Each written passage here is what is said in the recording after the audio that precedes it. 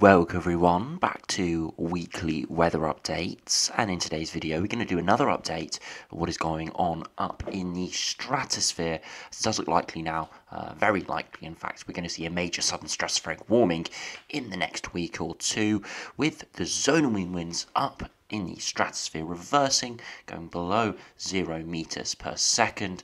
As many of you know, that could trigger more blocking through the troposphere and could give us uh, some cold weather and at least an enhanced risk of cold weather towards the end of February and start of March. It could have longer effects than that, or it could have no effects. It is very uncertain what exactly will happen with it, and in today's video we'll run through what is exactly going on in the stratosphere, and in the second half of the video we will touch on some longer range charts uh, and data which could suggest how it could propagate through the atmosphere and affect the troposphere where our weather really does take place and how it could start to send us, as I said, colder uh, or at least more blocked in in in parts of northern and western Europe into uh, the end of February and start of March.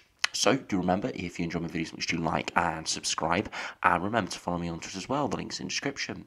Now, I did do an update on Saturday on this, and it has progressed further, and it's just looked more and more likely. Pretty much 90%, 80 90% of ensemble members now have a major sudden stratospheric warming, and even those that don't are going very, very weak in terms of those zonal mean winds. So it's pretty much guaranteed now. We'll see at least a major warming, perhaps a major sudden stratospheric warming. Um, definitely uh, is looking most likely outcome here.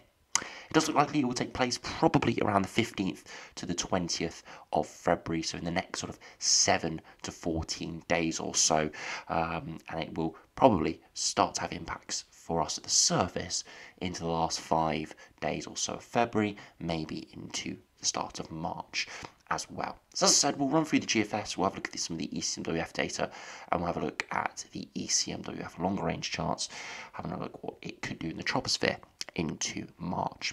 So we do start on the latest GFS operational run. Now this is one operational run, but they've been very consistent with their major warmings. Um, so do take the exact uh, exact pattern here with a pinch of salt, but this overall theme is looking highly, highly likely, as I said. Now at the moment you can see the blue blob that's over sort of Scandinavia, Greenland, and just to the north of the UK is the remnants of the stratospheric polar vortex and that has been significantly weakened through January.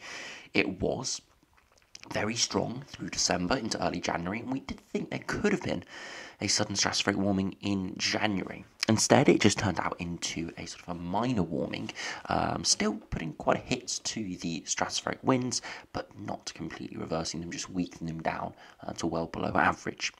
So the stratosphere is already pretty weak and it is displaced, not directly sat over the North Pole, but not distorted enough to make many impacts through uh, to our level in the atmosphere. However, as we run through, it continues gathering strength, sitting basically over the top of the UK, in fact.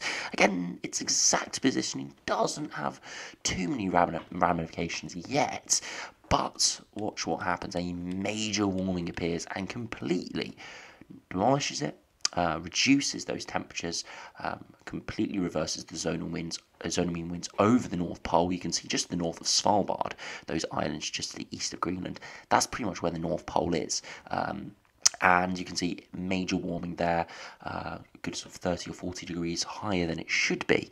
Um, in terms of averages, and you can see the remnants of the polar vortex are strung out through the North Atlantic and sort of central Europe, down into the mid latitudes, uh, and it completely is demolished with none of these blue colours left uh, remaining.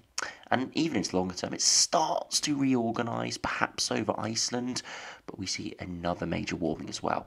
So not only could this be one sort of major sudden stratospheric warming event, giving uh, reversal of those zonal winds, it could do it for a prolonged period of time, a number of days here, perhaps even longer than that, into weeks perhaps, if we did see a secondary warning warming like this. And as we'll see um, in a minute, I'll show you the slice through the atmosphere for that GF this GFS run and you'll be able to see how we see a major warming, a slight recovery, but not really recovering all too much, and then perhaps another major warming as well.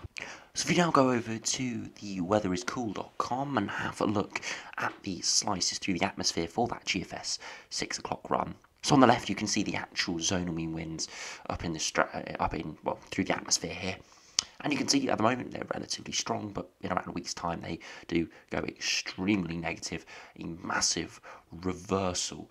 Uh, now, this isn't exactly over the North Pole, so it's not going to be minus 50 meters per second right over the North Pole, but it does uh, emphasize this well. And you see throughout the atmosphere it does weaken, but we're not seeing any major reversal um, sort of down into the troposphere, down towards 300, 500 HPA, down towards the surface. And you can see on the far right there is a brief recovery and then another weakening as well. So that's why I said there could be a secondary attack on the polar vortex, which has already been demolished and it will keep it demolished uh, even further.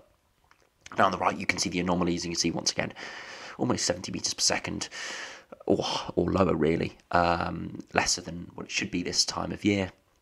And you can see it mainly stays up in the stratosphere but you can see there are signs right towards the end of the run into early March that it could start to propagate through the troposphere. And that is something we do need to keep an eye on because there's no point uh, if you're looking for cold weather, colder blocked uh, weather to see this major warming up high in the stratosphere and it not come to the surface. So we'd really need it to come to the surface if you want that colder weather.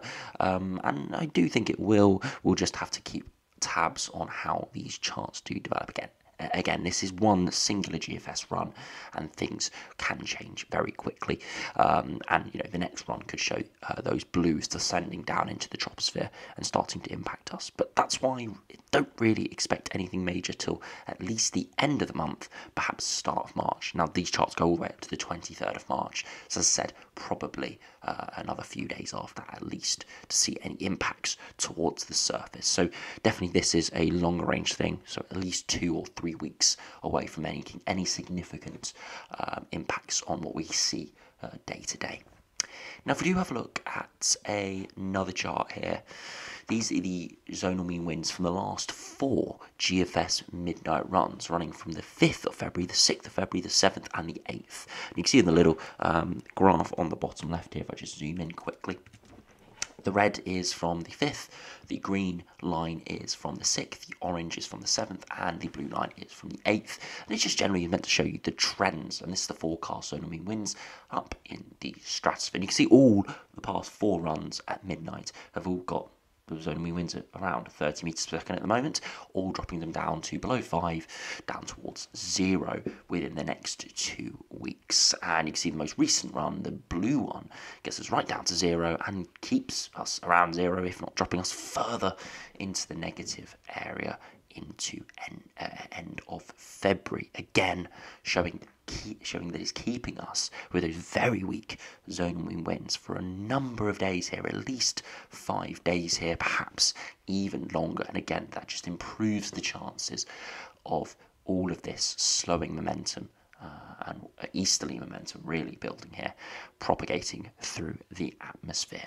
And if we do finally have a look at some of the ensembles here from the GFS, and you can see where the uh, zonal winds have been over the past uh, number of months, really, all the way back to September. You see the blue line, that's where we've been. We've been average to above average January through December and January, and you see it didn't impact us all too much because we saw very cold weather in December. So it doesn't always correlate, but more often than not, it does. And you can see towards the end of January, we saw that quite a big warming, down towards around 10 metres per second, but it did recover and it's now average to slightly above average. And you see this big drop down towards zero, majority down towards zero or lower than that, and no real rebounds here either. We're not seeing any shooting back towards average, really, all keeping us either in uh, negative territory or at least very, very weak. So yeah, no real signs of any major rebound, and pretty much all ensemble members are getting us towards a major warming region, and the majority are down to the sudden stratospheric warming region of zero or less. Now, if we do go over to the ECMWF charts and see what that is showing, this is a very similar chart of we just saw for the GFS, but for the ECMWF and zoomed in a bit more and going slightly more in the longer range. So definitely looking more extended range here.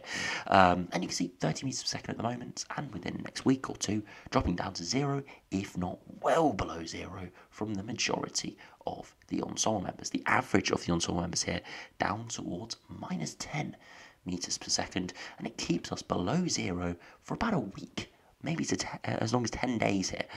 Now, some go down to 25 or 30 meters per second, which is ridiculously weak zonal mean winds, and you had to think if something like that came off, we would see major blocking through the atmosphere. Uh, now, of course, that won't always spell cold weather for the UK because, again, there will be colder sides and mild sides to the block, but inevitably there will be impacts somewhere um, down in the troposphere if we saw something like that. Others have much weaker uh, warming, but still getting us down sort of zero. Uh, and you can see there are a few anomalously milder runs around zero to five, but all are well below average. And you can see the majority are below that red line, which is the 10th percentile, just showing you how weak these zonal winds are likely to be. And of course, the important thing, as I said, is the longevity of this. All the way through March, doesn't really look like it's going to be recovering at all. The polar vortex um, for the majority of the ensemble members here is going to remain very weak um, and yeah, not looking likely to recover towards average really at all through March. So very interesting. Of course, these things can change. It is extended range, so it could shoot up into early March. But from the latest ECMWF data, it is keeping us really, really weak in terms of zonal winds. Again, increasing the chance of blocking prevailing more through the atmosphere. Now, if you finish the video by having a look at some longer range charts uh, for the ECMWF uh, data, again, this is now into the troposphere, so looking actually our day-to-day weather. Now, this is quite a complicated chart here, but once you know what you're looking at, it is not too difficult to understand. Now, on the x-axis on the bottom, we've got the dates running from the 6th of February, so when this run was done a few days ago, all the way out to the 22nd of March. It really is extended range stuff. Now, we've got these sort of bar charts here, and it's showing probabilities all adding up to 100% here. And anything that is blue is showing a positive NAO, sort of westerly winds, very strong low pressure up towards Greenland and Iceland. Red is going a Scandinavian block, so high pressure normally over us, or to our north and our east. Green is showing a negative NAO, which is blocking in the North Atlantic up towards Greenland and Iceland. Um, here, a Purple is ATR, which is an Atlantic ridge, so ridging up towards Iceland, but no major blocking. And then again, grey is a bit no regime, so a little bit in between everything. So again, it just gives us probabilities of what the most likely outcome is from the ECMWF ensembles in the longer term. Now, over the next few days, we've got deep reds. Uh, of course, there's going to be a very high chance in the short range they do get it right. And you can see here, it's a block uh, sat over the top of us, and that's what we've been seeing on our daily videos. High pressure just sat over the top of us, giving us generally cool feel. As we head towards the second half of this month, the sign is that it could turn a lot more westerly, a lot more stormy with a positive NAO through around the 15th to around the 25th. Uh, you can see that from the blues, and again, the, the hash sort of block at the bottom is showing the most likely scenario here. So you can see positive NAO definitely prevailing. Again, that doesn't necessarily mean we will be go stormy because we could have that block sat over the top of us. So it could be more unsettled further northwards and drier further southwards. And again, we'll tackle that when it starts to come in the shorter range models or the medium range models and we'll be looking at in our daily videos. But I do want to concentrate on what's happening through early March uh, and sort of late February. We saw switch from positive NAO to a red block and stay pretty much blocked from the majority here all the way through March. Again, it's extended range, so things can change, but the signal here is for most, um, or the sort of majority opinion here from the ECMWF ensemble members, is for a red Atlantic, a red uh, Scandinavian block. Uh, and again, could that be signs that the ensemble members are picking up on the sudden stratospheric warming? Are they picking up on that blocking, propagating through the atmosphere, impacting us through late February, early March, and staying with us through March? You can't say for certain, but that is definitely the signal here. And if this sort of pattern from the ensemble members is coming without the influence of a sudden stratospheric warming. If that sudden stratospheric warming that's coming is not influencing these ensemble members too much yet, then once it does, it could just sort of maintain or increase this blocking signal. So this is why we really do need to keep an eye on the end of this month into early March, uh, as that really could be a period where it could go very blocked and could go very cold. But again, it's the 8th of February as I'm recording this. We're still good three weeks away from March. So there are still lots of things up for grabs. Now, if you finally have a look at the weekly mean anomalies for the pressure for the 500 HPA heights. So down towards the uh, troposphere, again showing you where high pressure, low pressure is. And if we were seeing sudden stratospheric warming propagating through the atmosphere here, we'd expect to see these oranges and reds really sat directly over the North Pole. So at the moment, you can see a lot of oranges over the top of us. This is for the week we are experiencing right now. Uh, and again, that's what we're seeing with high pressure over the top of us controlling. And that continues into next week. And more flat westerly flow here. Again, that's signs of a positive NAO up towards Greenland and Iceland. High pressure, more in the North Atlantic. Could be a bit of uh, up and down, oscillating between high pressure, low pressure. And high pressure could dominate in the south a bit here. But it's what happens since the first week of March. You can see major blocking appears towards Scandinavia and Siberia and Russia. Low pressure shoved more towards northern Canada. The week following that, into early March, look what happens. Again, we're in the longer range, the signals are going to be weaker, but huge areas of orange and above, um, or sort of uh, big blocking uh, and above average heights here over the North Pole, uh, up towards Scandinavia, Greenland, down into Europe as well, and blues down towards North Africa, Spain, and France, indicating that's where the jet stream is going much further southwards. Again, this could not be because of the sudden stratospheric warming. This could just be what the ECMWF is anticipating. Um, and, but regardless, if the SSW did come off, which is looking highly likely, and it did propagate through the atmosphere, this is the sort of pattern we're expecting to see. And yes, if this is not taken into account, the SSW, this pattern could just be reinforced um, as that data does come through. Now, if we head through the rest of March, towards the 13th to the 20th, we maintain that huge blocking signal and you can see more blues appearing towards France and Spain, blues appearing towards Central um, Asia, again indicating that we could see a lot of areas of cold tropospheric polar vortex leaking out into the mid latitudes. And here, of course, we could see easterly winds. Again, we'll have to see exactly how this does play out, but signs here from the long range ECMWF charts that we could be going cold and blocked into March. Um, again, could be because of the SSW um, and could not be because of the SSW, but whatever happens, the SSW will encourage this sort of pattern, perhaps reinforce it as well.